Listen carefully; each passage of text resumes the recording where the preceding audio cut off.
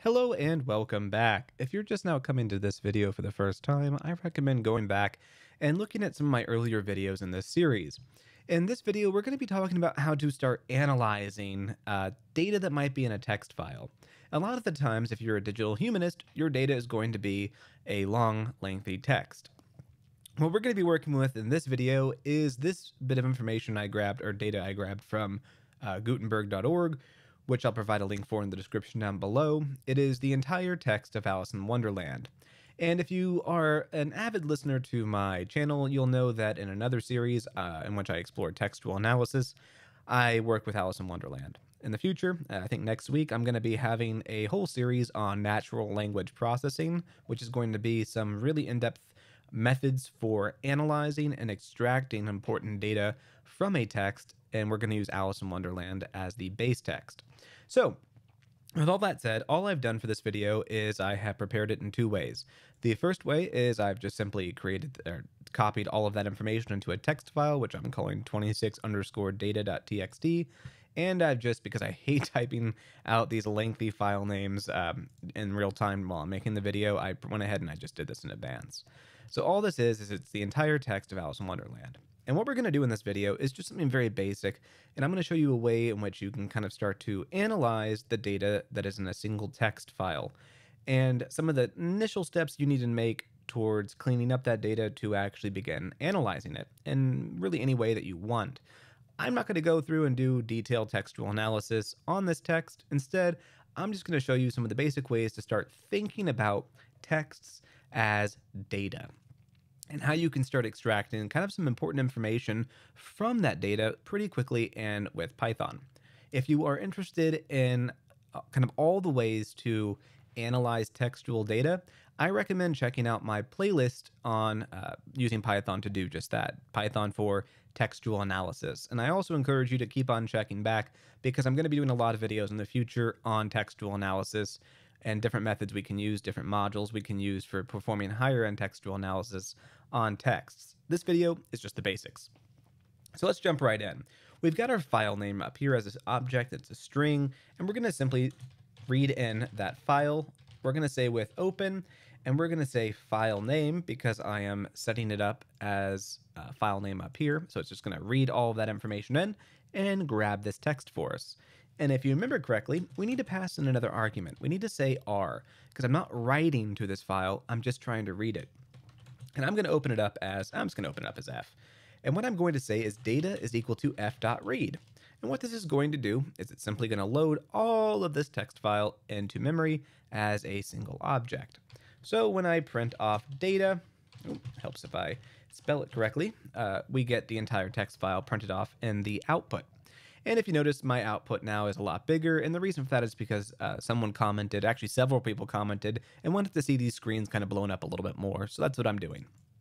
So we've now got the entire text of Alice in Wonderland loaded into memory. We can do some pretty cool stuff with stuff with it now. I want to focus on one simple problem in this video, and you have the tools, whether you realize it or not, to actually solve this problem. What I want to do is I want to know how many chapters there are in Alice in Wonderland. How many chapters there are.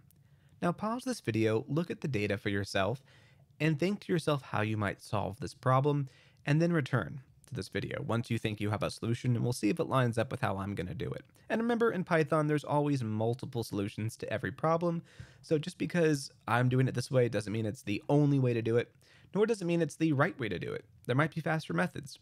Whatever works, works. But remember, when you're programming, you want to achieve two things. You want to achieve clean code, that is the little most little amount of code written per line, so long as that code is still legible and easy to read, and you want to write efficient code, so code that can run quickly. I'm going to show you how to do both those in this video. So pause now, try to analyze this data set and see if you can figure out how to really break it down by chapter. Okay, hopefully you've found a solution. So, as a data scientist or just a person who is just analyzing data, one of the things that you want to look for is patterns. So, if I wanted to analyze this text and see how many chapters there are, I really don't have a way to just count it. I have to manipulate the data in this file. Now, if I'm looking at it, I notice that chapter is appears right before each chapter. So if I do chapter that way, that way, that way, that way, that way, I can actually go through and see this. That it, each time it does this, it actually breaks down that many times. And if I just do control F, I can see that I have 12 results for the chapter. But that's not what I asked you to do. I asked you to find a Pythonic way to find that answer. Well, the way in which we can do this is we can simply use our uh, count function. So we can say data.count, and we're going to look for every time the word chapter appears, and we want to print that off. And when I do that, I see that my answer is 12.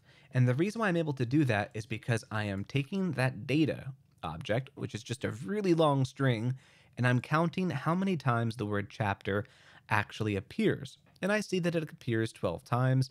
And uh, I didn't actually double check this, but I'm pretty sure there's only 12 uh, chapters in Alice in Wonderland.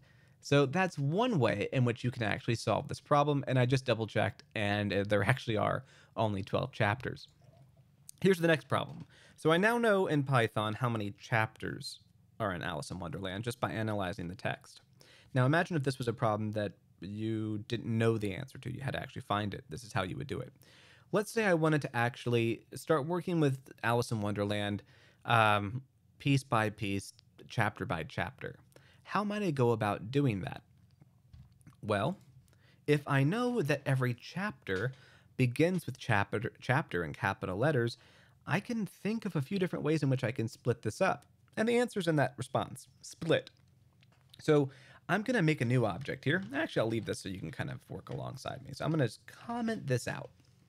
What I'm going to do is I'm going to say chapters, oops, chapters. Let me close this out. I think it's messing me up there. There we go. Chapters is going to be equal to data dot split. And we're going to split it by this word chapter.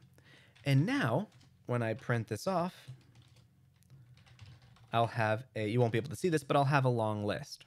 However, a problem still remains. What do I notice about this that's an issue? Well, I got all this extra garbage at the beginning that I don't need. And the reason why is because it split everything at chapter. And also I noticed that if I were to, um, let me take this problem one step at a time for you. So we got chapters by doing data.split. Now that I've got chapters like that, I don't want all this extra information before. I want to get rid of it. Now I can either delete it in the text file or I can just ignore it and handle it all in Python. And I can do that. So what it's done is it's indexed everything before chapter and provided that as index zero. So what I can do is I can create a new object or I can just do this and pass in one colon. And what that's going to do is it's going to bring everything from the first item in the index, which is this Roman numeral I, and simply print off everything there. So what I want to do is make this actually, I'll put it up here. And get rid of that because now it's indexed at one. And now what I have, if I print off chapters, you'll see now I've got everything like that. But I also have a problem. I see that this little gap is existing here and that's easily solved. I can simply do this. And now I have another way that I can actually solve for my chapter question about how many chapters there are. Uh, now that everything is stored as a list, I can simply print off the length of chapters. And this is a good way to double check that you're working with your data and you've manipulated it correctly. So now I can work with Alice in Wonderland as a data set chapter by chapter. What if I wanted to extract every chapter name? Well, let's work with that. So I've got chapters, I can print this off, and I noticed that after um after each chapter, so I see uh, chapter 1 period space, now I notice that there is something else happening. I've got two line breaks right here. And let's just see if this is actually the case. So what I'm going to do is I'm going to make a loop statement and I'm going to go through each chapter. So for chapter and chapters, now I can actually start breaking everything down. So in this loop, I'm going to print off each chapter. Let's just do this so you can kind of see what's happening. And what it's done is it's printed off each chapter individually. You can't tell because it's so long. There you scroll all the way up and it's printed everything off. So great. So now I can work with each chapter individually in memory. So what I'm going to say is I'm going to try to extract the title of each chapter. So what I'm going to look for is a pattern that I see in each of these chapters. I see that there is a period, right, a period and a blank right before the chapter title, at least in the first chapter, and I see that there's two line breaks. So if I wanted to create a find the title, I would make an object called title, and I would say chapter.split, and I would split it at the first instance of the period there. So I'm going to say one. So now I print off title. And what this is going to do is it's going to separate everything. So now what it's going to do is it's going to separate the actual uh, chapter number. So I can probably say uh, chapter number. Let's do this for this. Make these two different objects. So I'm going to say chapter number is equal to that. And this is going to be equal to zero because I'm going to index the zero position in this list. And then what I can do is I can print off chap number. And you'll see I've extracted all the different Roman numerals. Fantastic.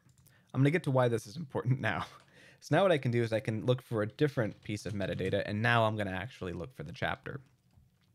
So what I can do now is I can do the same thing I did up there, so chapter.split. And instead, I'm going to grab that second index. So now when I print off chapter, or title, sorry,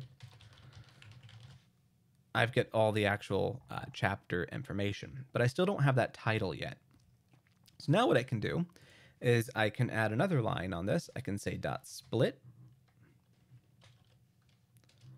And I want to split it at the first instance of that double line break. And when I do that, what did I do wrong? All right. Title dot split one.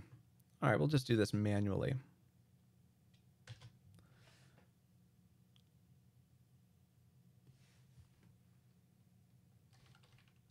Hmm.